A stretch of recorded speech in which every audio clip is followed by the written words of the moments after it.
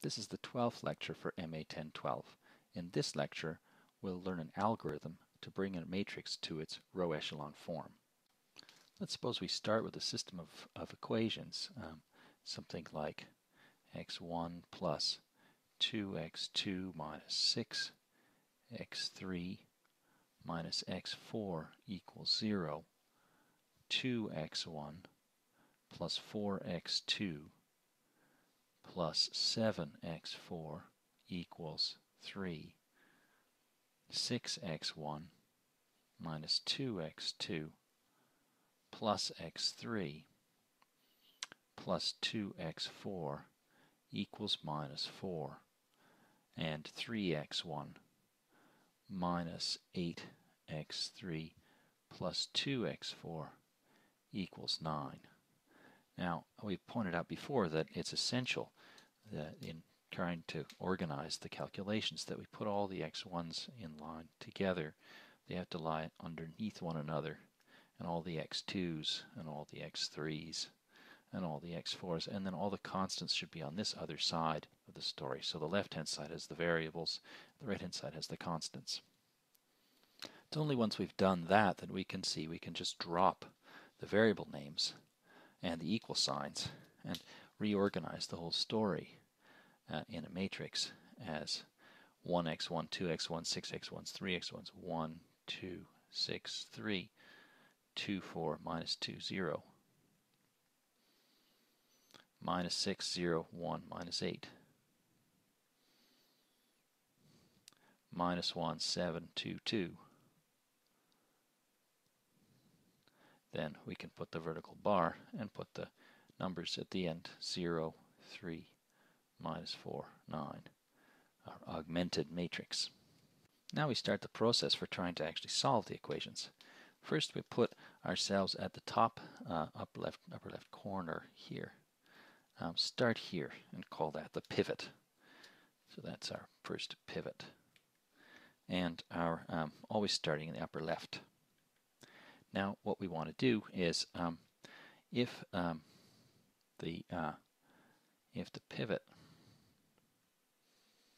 is 0, um, then uh, find the first non-zero entry under the pivot. In this example, we don't have this problem, but um, if that had been a 0, we'd go down here and find this 2. So, um, and swap. Swap rows with it we can only do things a whole row at a time. Every operation has to be a whole row all all at once because each row represents an equation. And so when we're uh, we start with these equations and each one of them generates the, a row, this equation here, 3x1 minus 8x3 plus 2x4 is 9. That gave us 3, 0, minus 8, 2, 9 those numbers come from these numbers and so they represent an equation so when we uh, when we work we have to work a, a, row at a time so we'll swap rows to get a non-zero pivot um, so uh, the problem, of course, could arise if this fails. Um, what if there is no? There is no. Um, so we try to find the first non-zero. If there is no non-zero entry, then what do we do? Um, we've used up uh, this uh, this pivot. It's zero, all zeros underneath it, so we move uh, one step to move pivot. We pick up the pivot. Move one step left, picking up the little pivot, the little red box that I've drawn here, pivot box, um, and uh, move it to the left. Uh, sorry, to the right. We move it to the right. Um, one step horizontally. So that's what to do if the pivot's zero. Um, but uh, if, if, so that means what we've now ended up by repeating that process enough times, we've either gone all the way through the whole matrix finding nothing but zeros, or we've got ourselves to the um, uh, to a non-zero pivot. So now we have a non-zero pivot. Um, we've swapped into place. Um, now what we can do uh, is to try to get it to um, to be uh, to kill everything to kill everything underneath it. So the next step is um, we're going to um, add multiples of the pivot row to each row, one multiple to each row under it to kill, make, in other words, make into a zero everything under the pivot.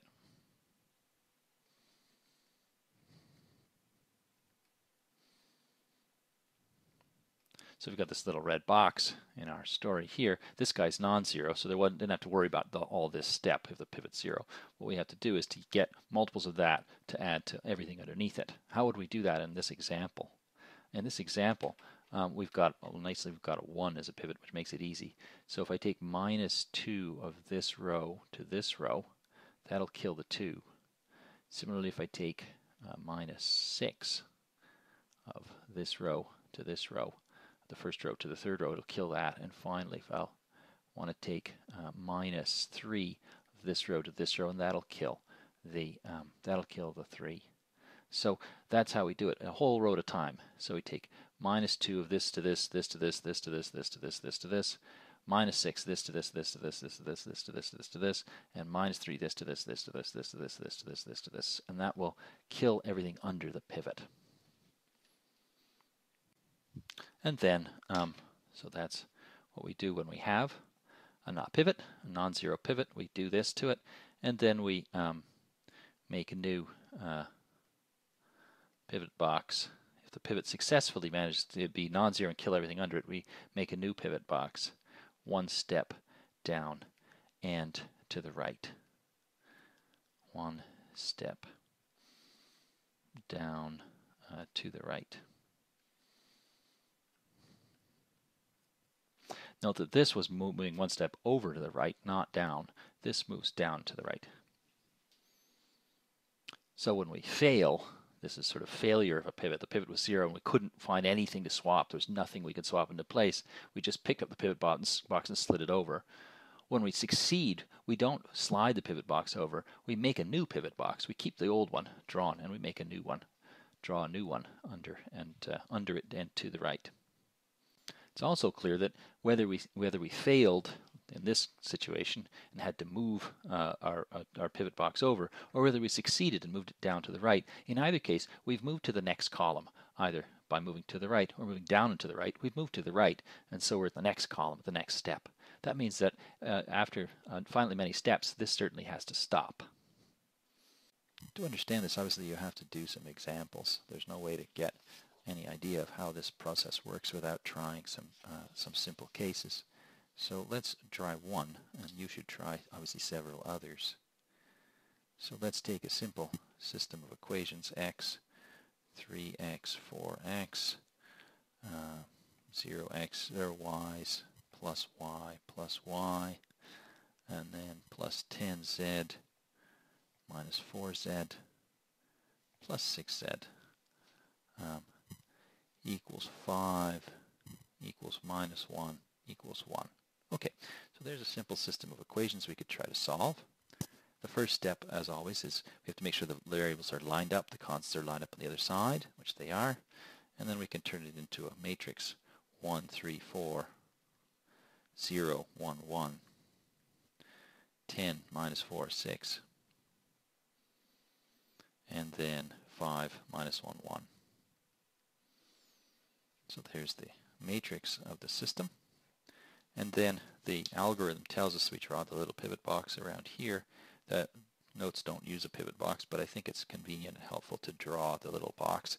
Um, it's a non-zero value, so we don't have to worry about swapping rows because we have a non-zero pivot to work with. It's going to successfully kill everything under it. What do we do to kill things under it? We're going to um, add uh, minus 3 of this row to this row, and we're going to add um, minus 4 of this row to this row, and that way the minus 3 times the pivot will kill the 3, and minus 4 times the pivot will kill the 4. Remember, we have to do everything a row at a time, so it'll be minus 3 this row to this one, minus 4 this row to this one. Um, and the first row won't be changed at all because it's got the pivot in it. It doesn't change. So first row stays the same pivot stays where it is. Once a pivot successfully has a non-zero value in it, little red box, it stays there forever. It never moves. Um, it might change its value if we decide to do the, the reduced row echelon form, but it's not going to move its location. Okay, so minus 3 that to that is 0, and then minus 4 that to that is 0. We've wiped out everything under the pivot. The pivot's killed everything underneath it. Um, but we have to do it a row at a time. Minus 3, this to this is 1. Minus 4, this to this is 1. Um, minus 3 of 10 is 30, minus 30. Added to minus 4 is minus 34. And um, and uh, let's see now, minus 4 of 10 is minus 40. Added to 6 is also minus 34. Um, so then minus 3 of 5 is minus 15. Added to minus 1 is minus 16. And minus 4 5 is minus 20. Added to 1 is minus 19. So again, what I did was to I tried to get things things underneath the pivot killed, so I needed to, I had a 1 here, I had to get rid of a 3, so I had to make it 1 into a minus 3, so I multiplied by minus 3, and added to 3, by minus 4, and added to a 4.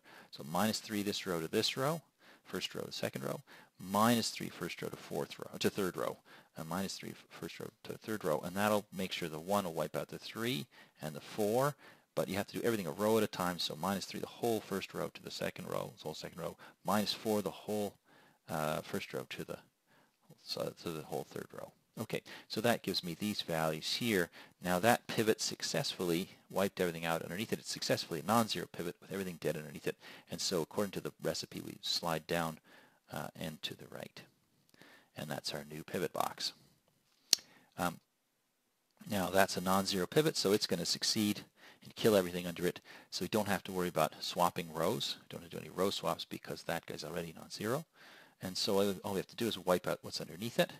It's a 1, so to wipe out a 1 I have to do minus uh, 1 of this row to this row, the second row to the third row. Minus 1, second row to third row means the pivot 1 will wipe out the 1 underneath it. Minus 1 times 1 added to 1 is 0. So again, these green little indicators are supposed to say minus 3 this row to this row, minus 4 this row to this row. So that way I indicate what row operation I'm doing. It's all with row operations, the entire row at a time. Whole row has to be operated on at a time. You can't just hit a single number with another number. You have to do a whole row at a time. Each row represents one of our original equations. Okay, so now uh, we've got um, to do minus 1 this row to this row. Uh, so we'll write down the first row doesn't change We're not doing anything to it. And the second row also doesn't change. We're not doing anything to it. But the third row changes because we're adding minus this to this, which isn't doing anything. Minus this to this is 0. Minus this to this is 0. Minus that is 16. Added to that is minus 3. And then uh, that gives us now our pivots again they don't move. Once a successful non, a non-zero pivot has been has been found, it stays there forever. It locks in place and that well, just wipes out things underneath it. That guy's locked in place and wipes out what's underneath it, so it won't ever change. And now the recipe says when you have a successful pivot that's killed everything underneath it, you move one step down to the right and you make a new pivot box here. Again, the notes don't really indicate the little pivot boxes, but I think they're helpful in trying to organize the calculation and see the locations of pivots. So the first row is not going to change. Um, the second row is not going to change anymore. They're done. Um, the third row, this pivot is a zero. And according to the recipe, if you have a zero pivot, you have to look for rows underneath it, of which there are none. This is the last row. So there aren't any rows underneath. You can't find anything to swap with. So you fail. That pivot fails to find its zero, so it can't be used as a pivot, and, and it can't, we can't find anything to replace it with from underneath it. There'd have to be somebody from a lower row to swap with. There's no lower row, so there's no swap possible. And so that's a failed pivot. And so the recipe tells us to slide it over here.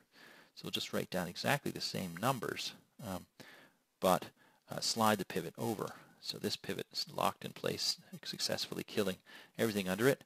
Uh, this one's locked in place as well. These, those were successful non-zero pivots. They did their job and, and they're locked in place forever now. Um, and then this pivot uh, failed. It's a zero pivot, which is not allowed. And there's nothing underneath to to swap with, so that's not going to work. And so we have to just follow the recipe and slide it over one step to, uh, to the right. 5 minus 16 and minus 3. We get a pivot box around here. And then uh, we can go back and look at our theory, which says that the pivots should solve for variables. This solves for the x variable, this solves for the y variable. But this pivot in the constants column means no x's, no y's, no z's equals minus 3. Obviously not possible. And so there's a pivot in the constants column.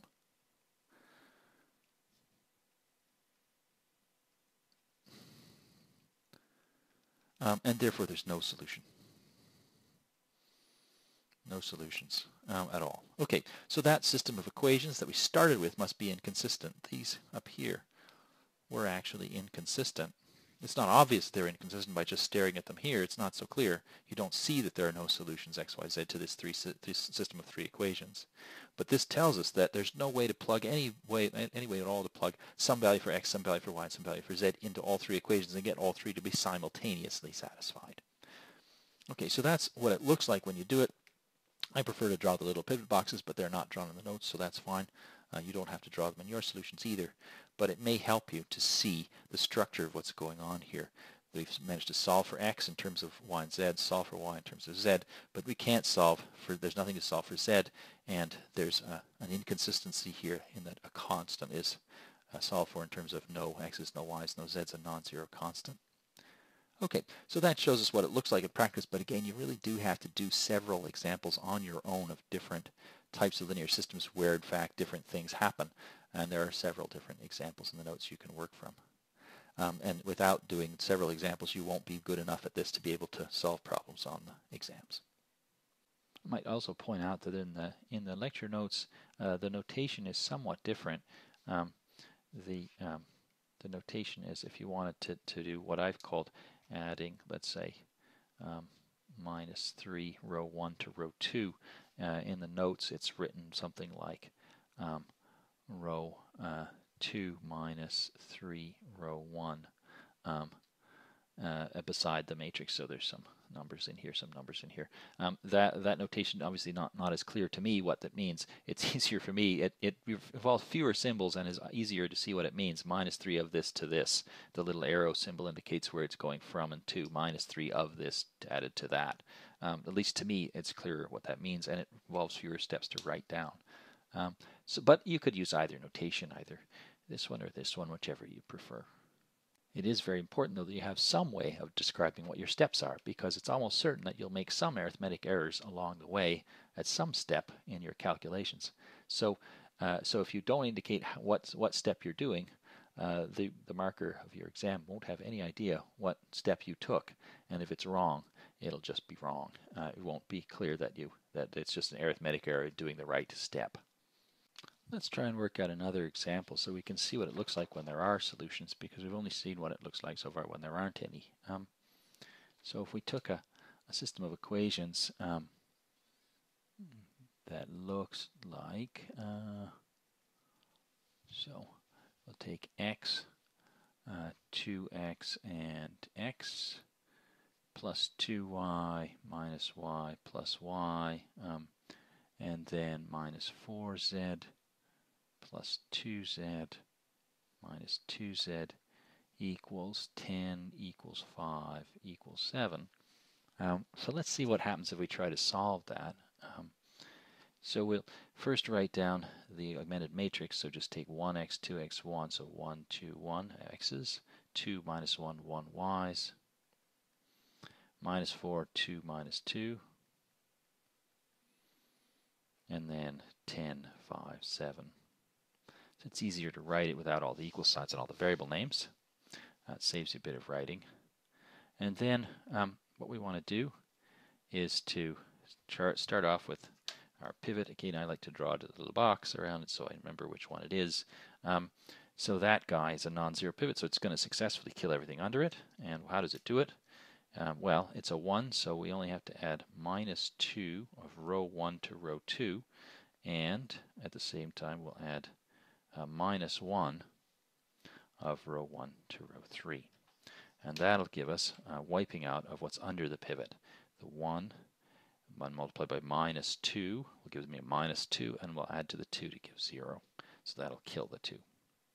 Um, so the next step um, is uh, that we have 1, 0, 0, uh, 2, and then minus 2, this uh, minus 2 2s is minus 4, minus 1 is minus 5, minus 1, 2 is minus 2, added to 1 is minus 1, um, minus 4 stays the same, 10 stays the same, the first row stays all the same, which is important to remember, it makes it faster to calculate with. Um, let's see now, minus 2 fours, minus 4s is 8, added to is 10, and then um, minus 1 minus 4s is a plus 4.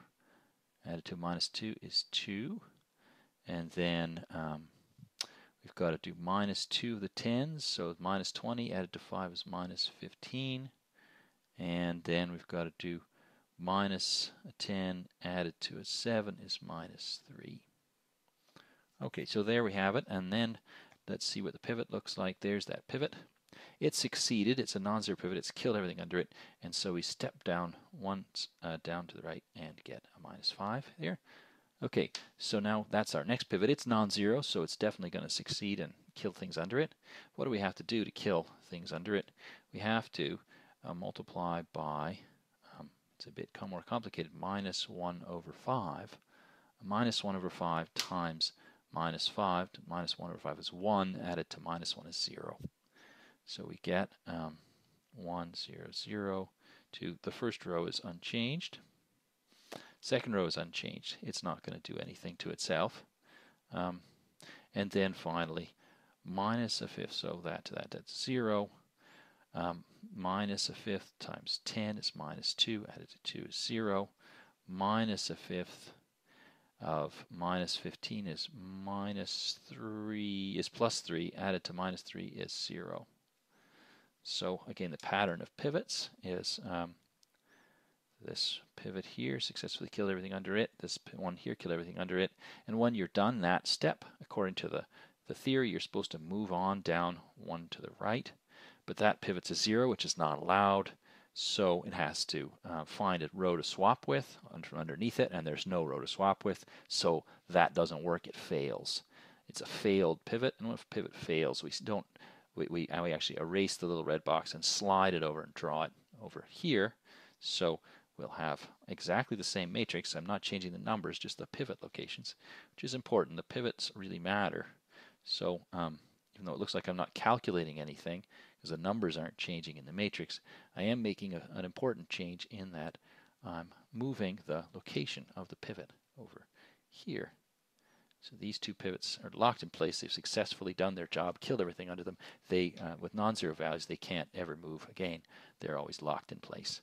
But this one moves because it's failed. It's a failed pivot. It was a zero. That's not allowed. And it, you couldn't find anything to swap with from underneath it. And so it had to move over to the right.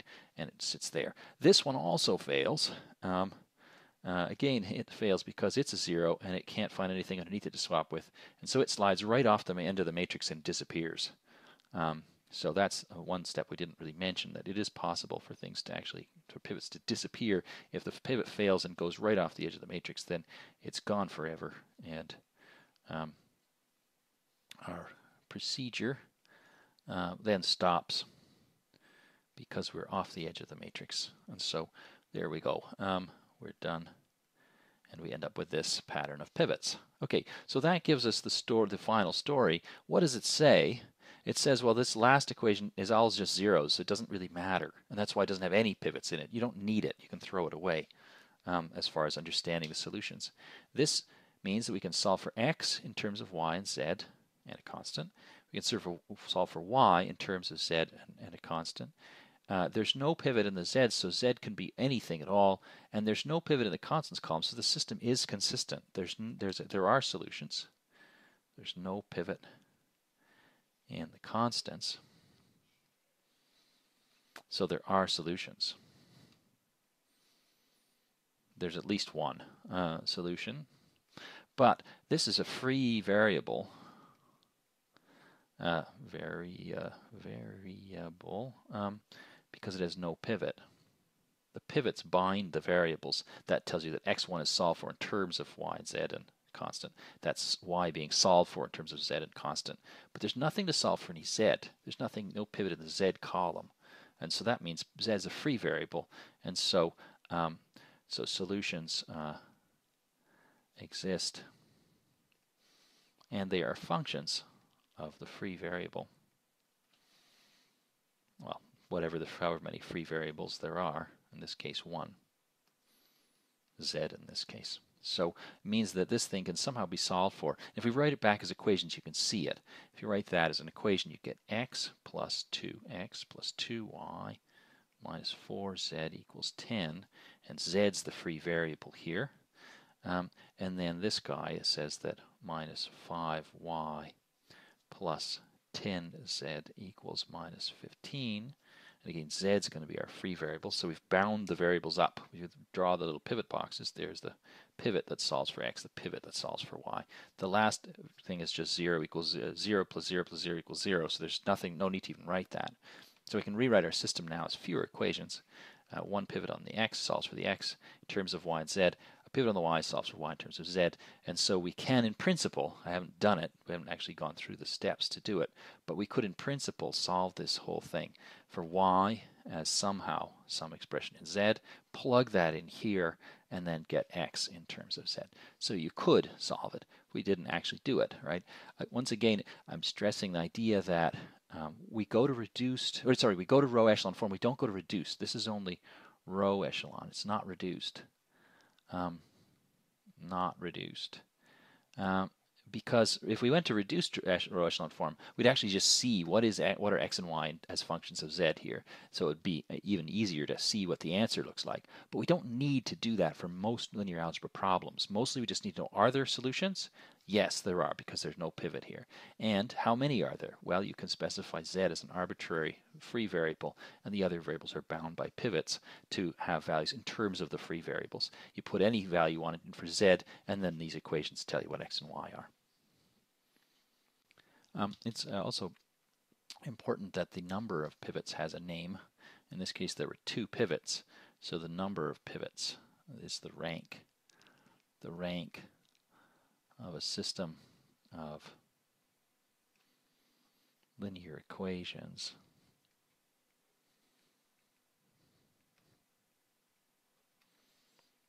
Um, or uh, the rank of of a matrix um, which represents such a system. Representing a system is the number of um, of pivots that show up when we um, go through this Gaussian elimination. The procedure we've been doing is called Gaussian elimination. Gaussian elimination.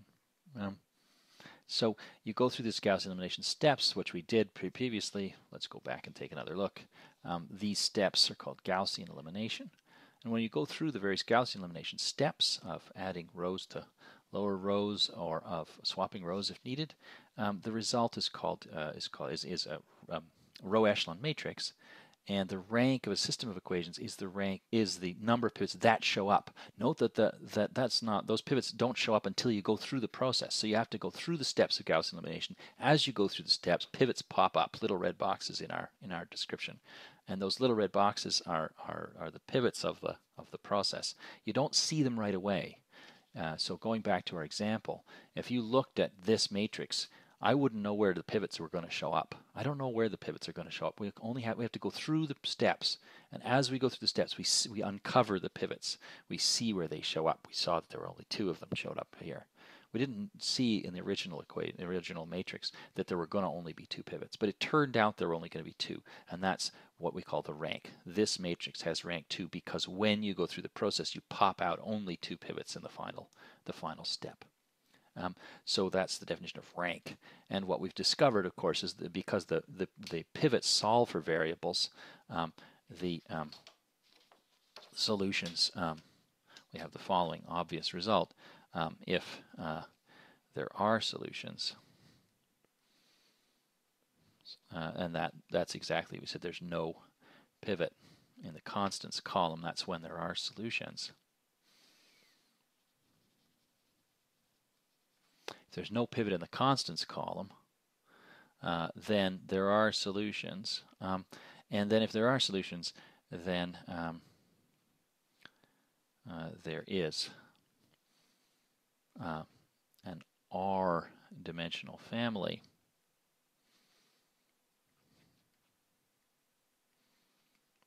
of solutions. Sorry, n, n minus r, not r, r minus r, of solutions where r is the rank. Why is that? Because each, the rank is, a, is the number of pivots, and each pivot solves for a variable. So that variable's out of the way. It's no longer free. Um, so the free remaining variables that aren't, that aren't solved, or that don't have pivots, that's n minus r, where n equals the number of variables. Sorry, it's n and a little r. They look very similar the way I write them. Um, so n is the number of variables, r is the rank, and n minus r is therefore the number of free variables. There are pivots, r is the rank, the number of pivots, but each pivot locks in place a variable um, if there aren't any in the constants columns. So um, in the constants column, there's, there's no pivot in the constants column, all the pivots occur in the variable columns, and each of them then binds a variable uh, to uh, to be solved for in terms of the remaining variables. So that's how many remaining variables there are still free in minus r. So we can see in terms of the rank how many solutions there are to a system of linear equations as long as there isn't one in the constants column. That's really important. You have to look and see if one shows up in the constants column. And if it doesn't, then you can use this result. But if there is a, a, a pivot in the constants column, then there aren't any solutions at all to the system. In the next lecture, we'll look at matrices.